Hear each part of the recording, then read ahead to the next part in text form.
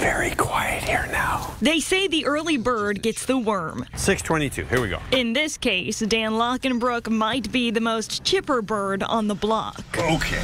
Once a week, as the sun makes its way up, he hops behind the wheel of a van. Let's go.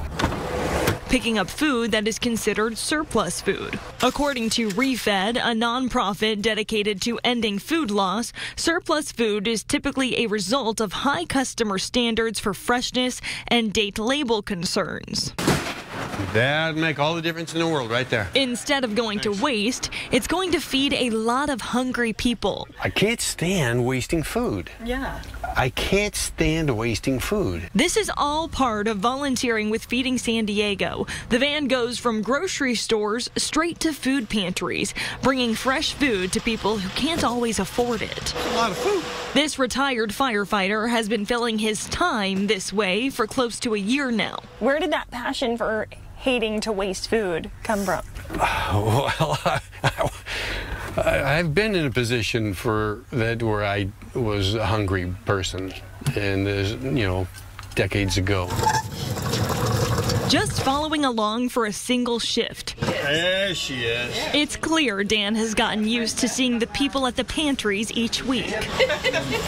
But what he hasn't gotten used to Just a volume of perfectly good food that otherwise would go in the dumpster. At the first food pantry drop off alone, more than 200 pounds of food. 17. Every Tuesday, Dan makes eight stops, but that's just a drop in the bucket compared to the bigger picture. Feeding San Diego rescued food from more than 770 places throughout the county last year, preventing more than 31 million pounds of food from ending up in a landfill. 97! We get to almost kind of play the role of Santa Claus sometimes because we're giving them a gift. Maria Haig is the community resource coordinator at Grace Presbyterian Church. Every week, they hand out groceries to about 100 families. We look forward to, to seeing them every time they come. We always have new faces that come, they word of mouth, or they tap into Feeding San Diego and they find out that we're here. Let's do that.